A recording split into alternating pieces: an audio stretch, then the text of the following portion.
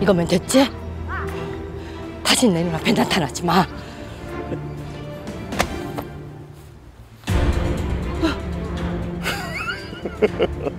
벌써 끝내려고? 아니지. 끝내는 건 내 마음이지. 뭐, 지옥이 왜 지옥인 줄 알아? 끝이 안 나니까 지옥인 거야. 더 이상 줄 것도 없어. 왜 없어? 있잖아. 네 딸년 놔주라. 소리 짓거리지 말고 이 돈이나 들고 사라져. 우리가 가족이 되면 내가 널 배신할 이유도 없잖아.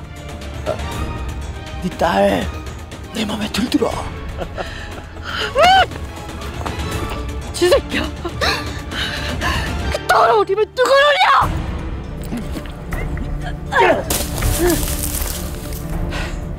내가 더러운 놈이면 넌 어떤 년인데? 어? 내가 이 돈 받고 떨어질 줄 아냐?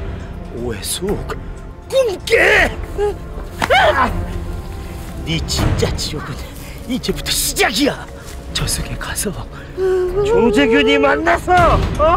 네가 직접 미안하다고 용서를 부리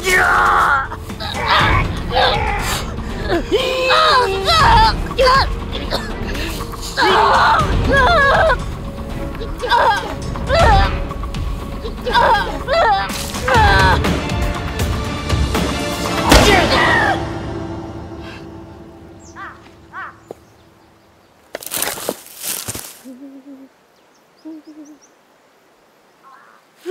엄